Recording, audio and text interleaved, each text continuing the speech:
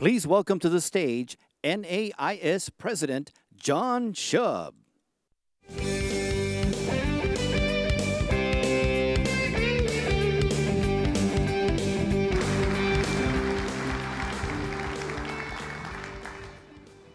Wow, that was amazing. Um, you know, and the, the truth is, um, after seeing something like that, I really don't have to say anything. You know, that, that is what we're all about. Um, it really is all about the kids. Um, one, thing that you, uh, one thing that you don't know about that performance, the middle number that you just saw was written by the, uh, by the young woman, the girl, who was the soloist. Is that amazing?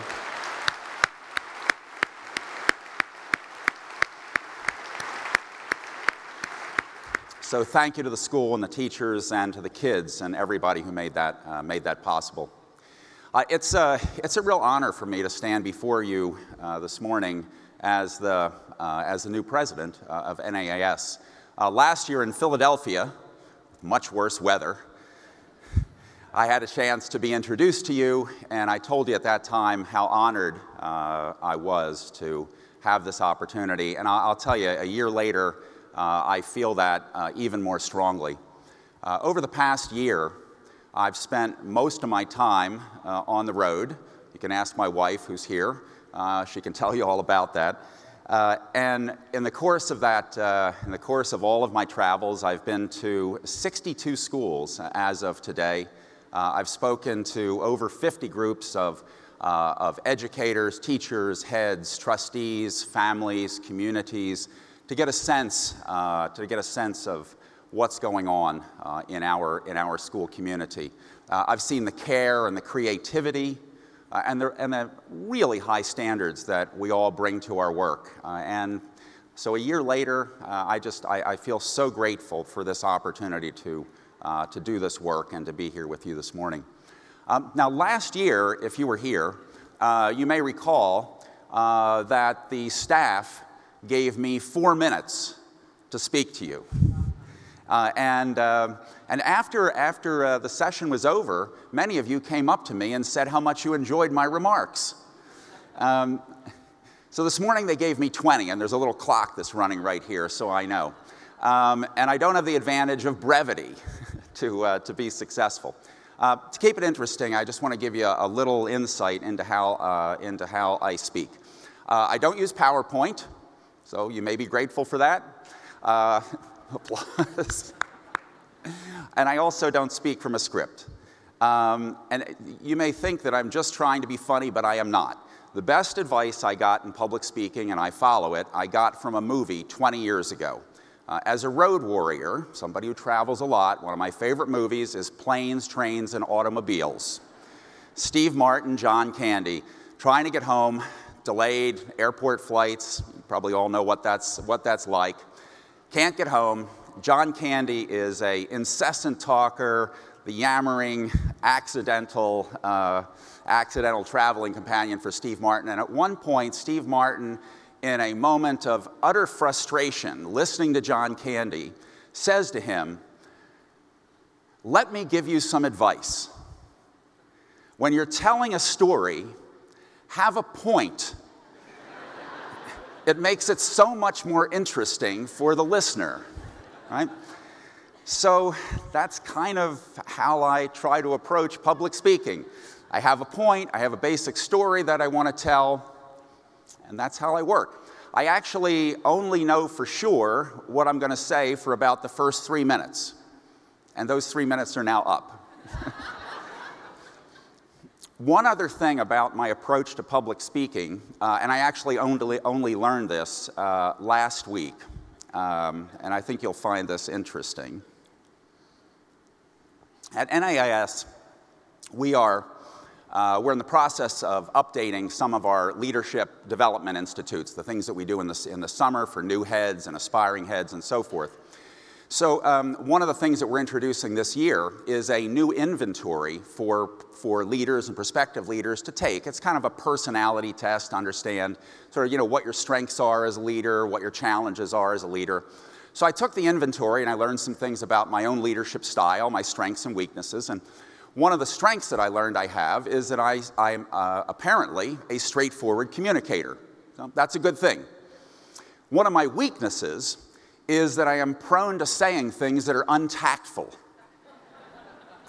so, um, at the risk of being untactful right off the bat, um, I'm going to say something that may rankle some of you, um, but here goes.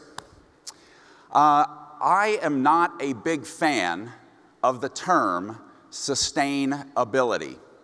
And I know that sustainability is all, all, all over our community. And just to be really clear, when we're using sustainability in its original sense, applied to the natural environment and the preservation of natural resources that are depletable, I'm all in. I'm an environmentalist. And as I travel the country, I see lots of great environmentally sustainable practices in our school, schools. It's a, uh, it should be a point of pride for all of us. But what I don't like is I don't like the term financial sustainability. I don't like, I don't like the implication of financial sustainability and what it means for our future as a community of schools. It suggests that all we're interested in is maintaining. And I know every one of you in this room knows that we can do much better than that. I don't want us to be a sustaining presence on the education landscape. I want to see us be a growing and ever more important presence on the education landscape, and I think that that is our potential. This nation, just to get right to the bottom line, this nation needs more high quality schools. We just do. And where are they going to come from? The public school system? I hope so. The burgeoning charter school world? I hope so. But what about independent schools? You know, my view, pure and simple, is that independent schools have the greatest potential to be the leading schools in this nation's future. And that is my point.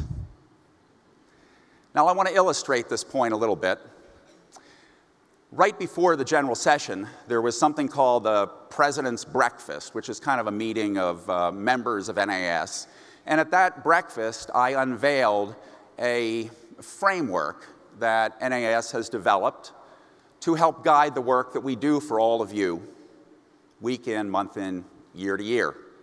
And over the coming weeks, you'll, you'll be hearing communications from me through the blog, through our website. You'll learn more about it even here over the next couple of days, how we're thinking about serving. So this morning, in keeping with my, in keeping with my approach to public speaking, I want to unveil just one element of that framework. And unfortunately, I'm going to do it with a PowerPoint slide. I'm sorry. So here goes. There you go. It's a vision statement. What do we think the potential is for the independent school community?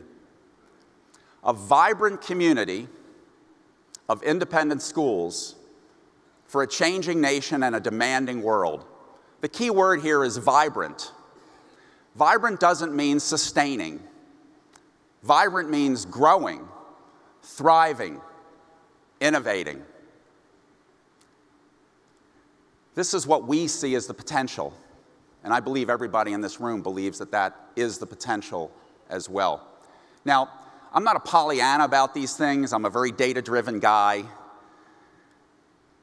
But I believe the data and the facts support us even though it's a large challenge. Over the last decade, private and independent schools have not been thriving. For two centuries, almost two centuries, private schools have played a very large and actually sustaining role in American education. But over the last decade, private and independent schools have played, have come to play a decreasing role in serving America's kids. Private schools used to serve 11% of all kids, then 10%, and today it's 9%. And so the trends are not exactly with us. But I believe that that does not have to be the case. And it's because of the other part of this vision statement the changing world and the demanding, the changing nation and the demanding world. I think that both of these challenges are for us great opportunity. And let me just say a little bit about that. The nation is changing in lots of ways, in lots of ways, but most fundamentally, the makeup of this great nation is vastly different than it ever has been. In five years, the majority of children in our nation's kindergartens will be children of color. We will be a so called majority minority nation, and the term minority doesn't apply anymore. Who is going to serve all, ki- all children best? The sad fact is that America's schools have never been very good at serving all kids. It's a tragedy. And I do not believe that the relentless focus on test scores as a be all and end all of what our schools are all about, our public schools are all about, is going to get us there. Successful education is about educating the whole child. You reach a child emotionally, and then you educate them academically. And as I look at our schools, that's what I see as strength. In my tour of schools, I've seen this so many times. In the fall, I was at the Perky Perkiomen School which is a boarding and day school in eastern Pennsylvania. It's been around for 150 years, and I was given a tour of the school by the senior class president. His name's Armando. Armando is from Central America. Armando is not affluent. Armando is at the Perky Perkiomen School on a full scholarship. He grew up, uh, grew up outside of Newark, was identified by a foundation that supports disadvantaged children attending independent schools. In his four years there, he'd been elected president of the senior class by his successes academically and on the sport fields. He gave me a wonderful tour of the school, and at the end of the tour, at the end of the tour, I said to him, What do you like best about your school? And he said, The community. And I thought, Did your head tell you to say that? you know, who said, what, what, what young person says community? And I said, So what do you mean by that? And he said, um, he said, at this school, I feel like I have four mothers. I have my mother at home, and I have three teachers here who care so much about me that I feel like they're my mothers. That was a school that reached the whole child, disadvantaged Hispanic child given this opportunity. Around the same time, I toured a school in Bethesda, Maryland, a school for girls. And I was given a tour by a ninth grader who had come to the school as an eighth grader, which is not a normal transition time. And she was so enthusiastic about her school. And so at the end of the tour, I asked her, What do you like best about your school?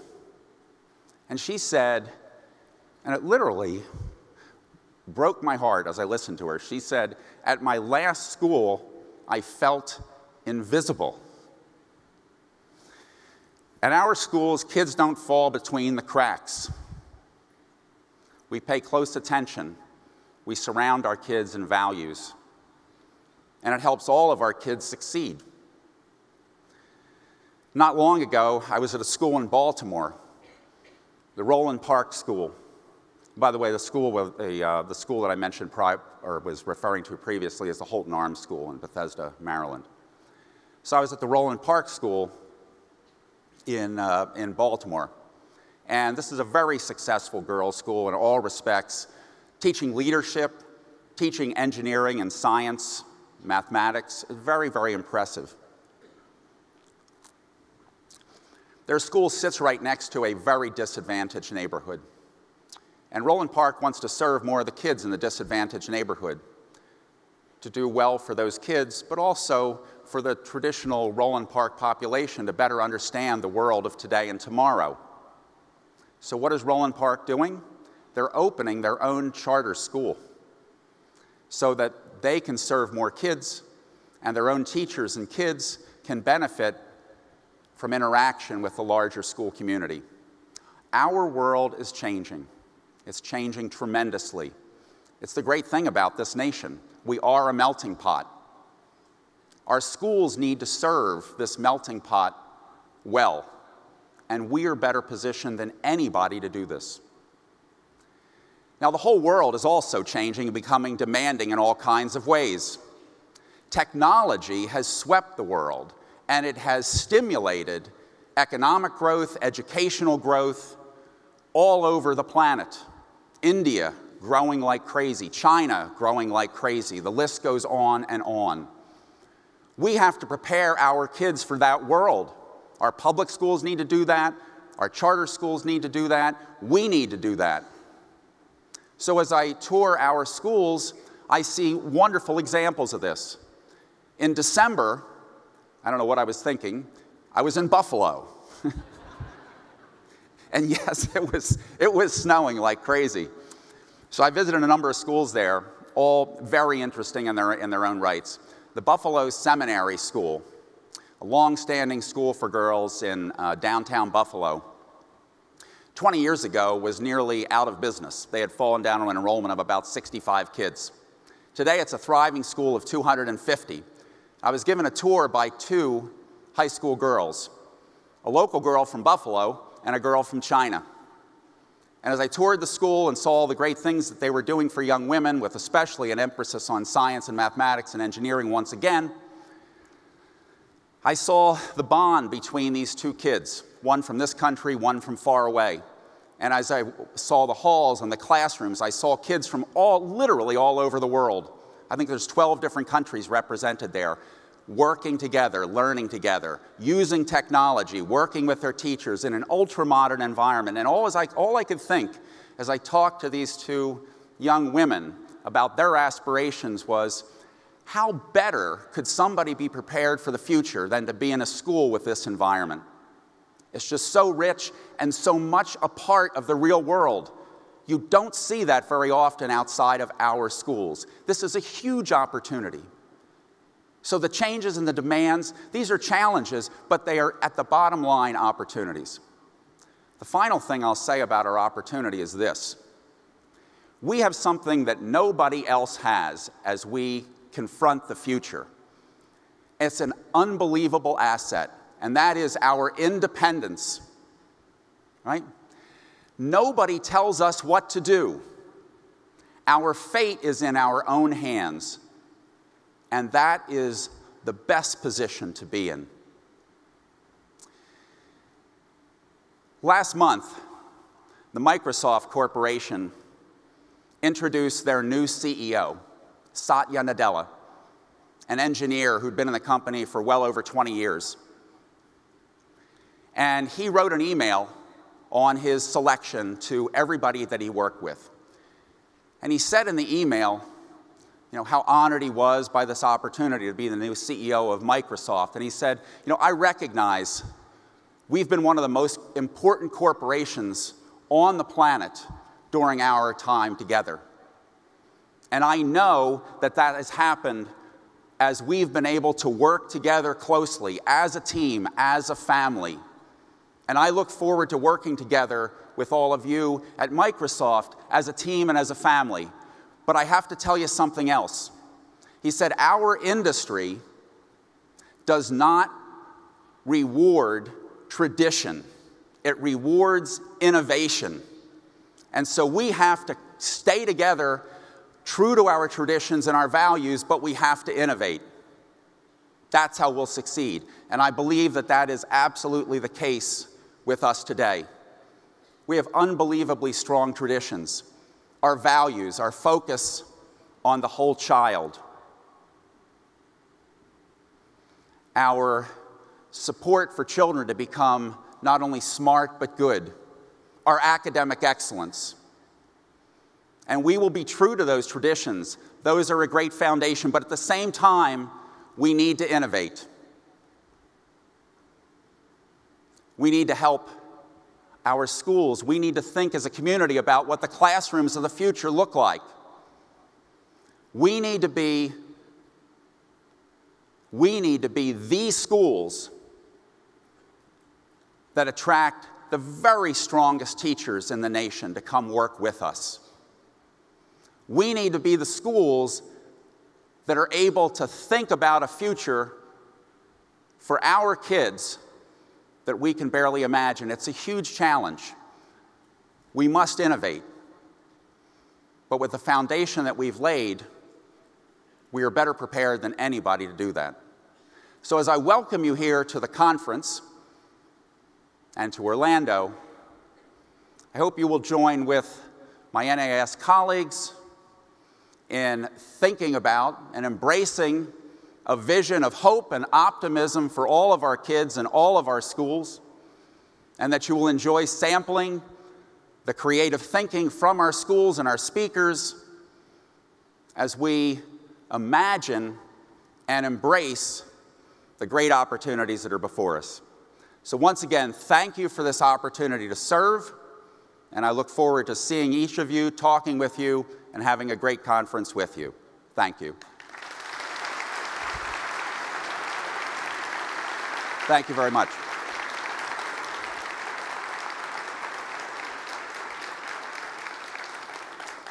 Now, before I leave the stage and move on to the main event, uh, I want to I want to say a few other thank yous.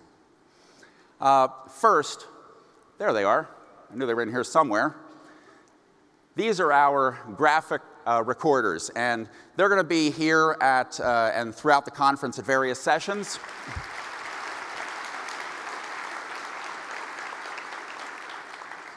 Memorializing in pictures what our uh, speakers and presenters have to say. This is, this is their fourth year with us. They do a remarkable job. The artwork will be posted uh, around the conference site and will also be on our website so you can remember uh, what you've experienced here. Next, this conference obviously has a lot of hands involved in it. And uh, beyond the NAIS staff, which does an unbelievable job, we have a, a local think tank, uh, folks from our, from our uh, schools in the Orlando area who come together, Florida more, more broadly, who come together to work with us to plan this program. And I would ask, I will ask them to stand. I can't see a thing up here. Um, but if you could please, there you go, some lights. Please stand for a round of applause and appreciation.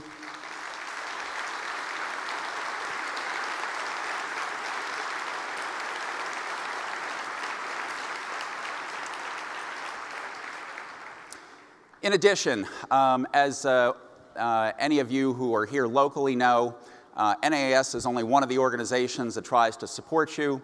Uh, here in the South, we have the Southern Association of Independent Schools and the Florida Council of Independent Schools. They also have been very helpful in making this uh, conference possible. So, a round of applause for them, please.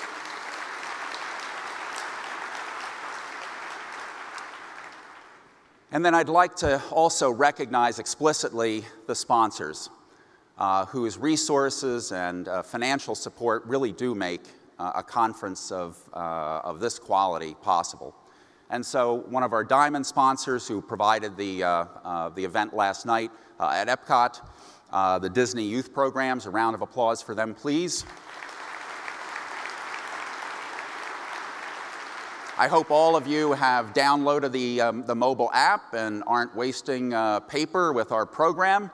Uh, Whipple Hill, a round of applause for their support for that.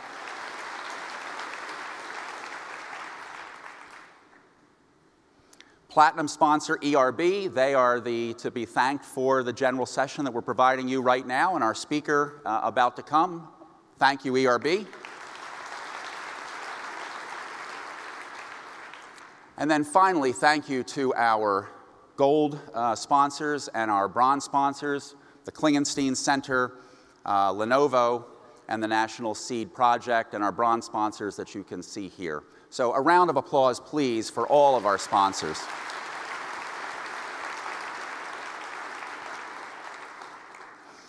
And then finally, I want to say uh, when, this, uh, when the general session ends, uh, and you've had a chance to listen to our uh, wonderful first speaker, the exhibit hall will then be open, uh, and uh, our exhibitors offer a, a, lot of practical ideas uh, for uh, our schools for the future. I hope that you will uh, take a close look at what they have to offer, and I also hope that you will take a look at NAIS's resources, our membership, uh, our membership support center, our bookstore, lots of great things uh, for you to, to take a look at and I hope enjoy. And with that, I believe, let me just check. And with that, I will get off the stage. Thank you again and have a great conference.